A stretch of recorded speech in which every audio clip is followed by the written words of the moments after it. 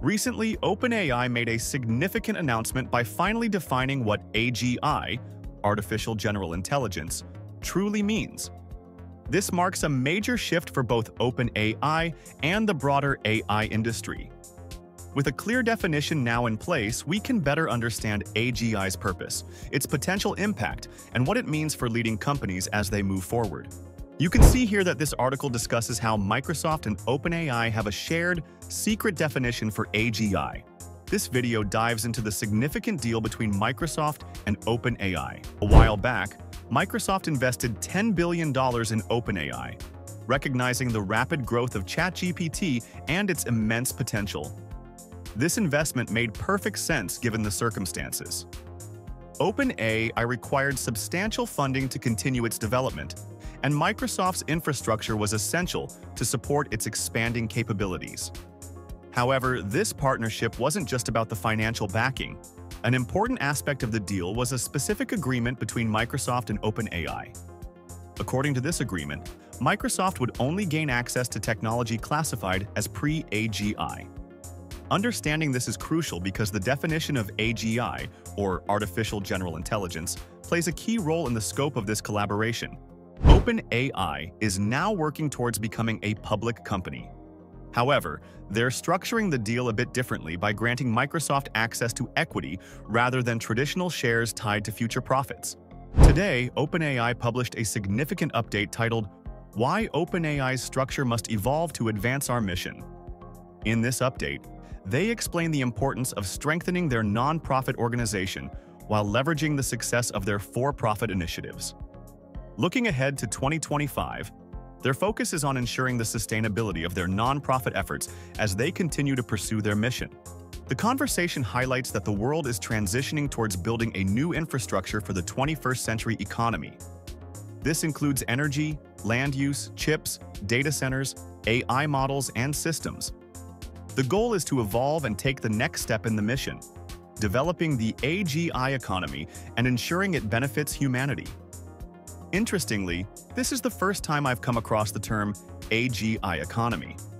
While it's a new phrase, it seems to refer to the idea that the future economy will heavily rely on and be shaped by AGI. Opening AI to the public is undoubtedly a challenging task, especially given the current circumstances.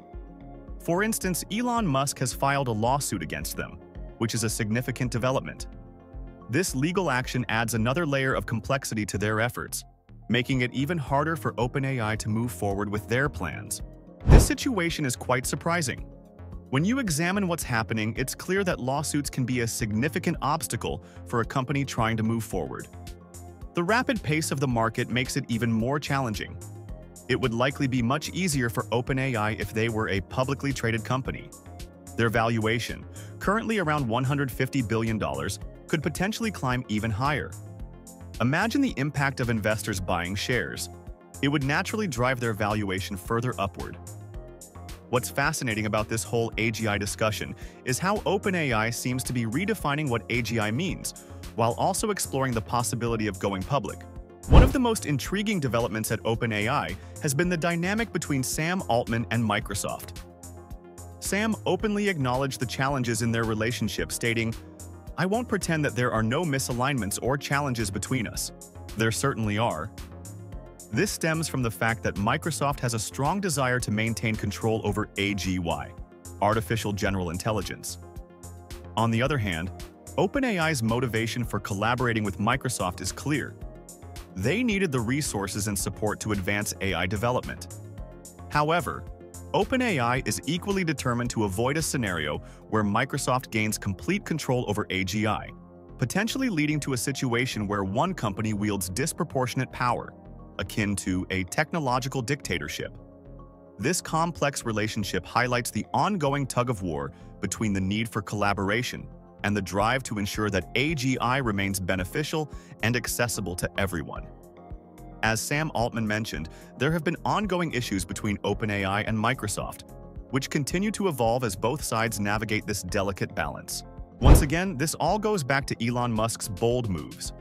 He's managed to shake up the AI industry by creating a supercomputer that's not only bigger, but also much faster than the ones developed by OpenAI and Meta. his actions have certainly left other AI companies on edge. He went so far as to get into an argument with infrastructure executives at Microsoft, expressing his concerns that xAI was advancing faster than Microsoft. He confronted them, questioning how Elon Musk could be moving at a quicker pace than they were. This disagreement created some tension, and to understand why it's significant, we need to recognize that compute power plays a vital role in AI development.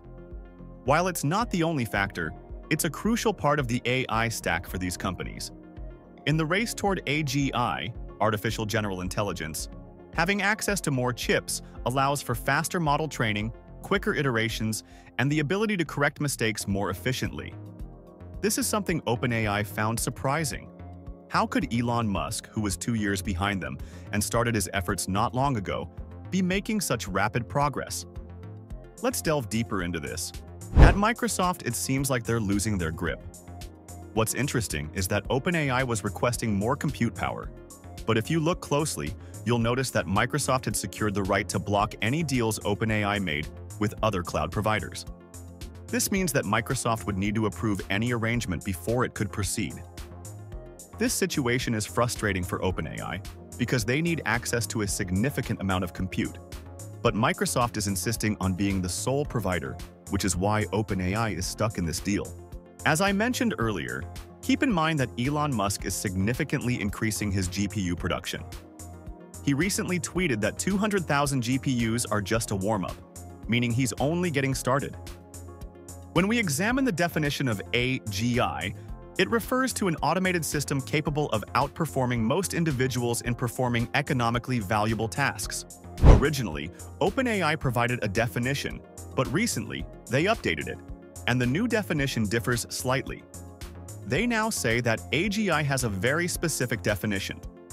It refers to AI systems developed by OpenAI that have the potential to generate at least $100 billion in profit.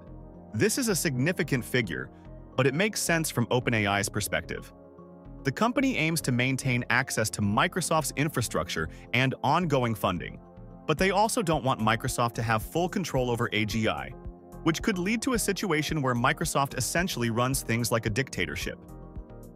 OpenAI's goal is to retain control.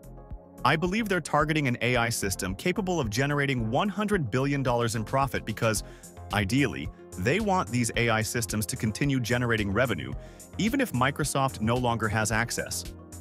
Essentially, OpenAI aims to create highly autonomous systems that can function independently, enabling the company to move forward without relying on Microsoft's assistance. I believe that the definition of what constitutes the most economically valuable work is changing. In just a few years, I think A, I will be capable of performing the majority of this work. However, the real question is whether it will generate profit. Will AI be able to produce profits from its work? there will still be a need for assistance until we reach a point where AI can generate those profits on its own. Now, we can see where the $100 billion in revenue is heading. It's projected for 2029, not 2025, but we're already in 2024, and a lot can change in these five years. We've seen significant developments in AI, particularly with language models, so 2029 is shaping up to be a pivotal year. That's when OpenAI will likely have its hands fully untied, and while they might not completely dominate the market, having AGI could certainly shift the dynamics. By then, other companies might have caught up or even surpassed them.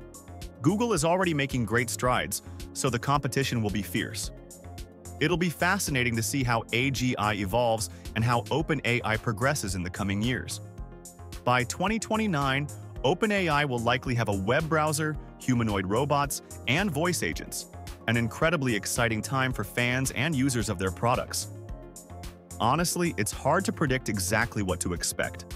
But one thing's for sure, the developments will be thrilling to watch as these companies continue to advance. The definition of AGI is evolving, moving from tasks involving economically valuable work to a point where AI systems can generate profits of at least $100 billion. I wonder if companies are aiming for their AI agents to autonomously generate $100 billion in profit, or if they are simply using these systems to achieve that target. Personally, I think it's the latter, where they've automated significant parts of the economy. and their AI agents are so advanced that they're capable of generating profits of $100 billion or more. If a company reaches this level, they could become one of the most valuable in the world. Because trust me, if they manage to automate large sectors of the economy, there's essentially no limit to what they can earn. After all, by replicating human capabilities, they can achieve profits beyond measure. And of course, let's remember that Sam Altman predicted that we might reach AGI sooner than most people expect. And when it happens, it may have less impact than anticipated. I'm curious to see if this holds true as we approach the agentic era in 2025. It will definitely be fascinating to watch how companies adapt and evolve during this time. So far, nothing has gone smoothly, but it will be interesting to see how they manage to navigate these changes, especially now that they have a new, more secretive definition of AGI. The goal is a $100 billion profit. Thanks for watching. If you're excited to learn more about this, make sure to hit that like button and subscribe. More exciting content is coming soon, so stay tuned.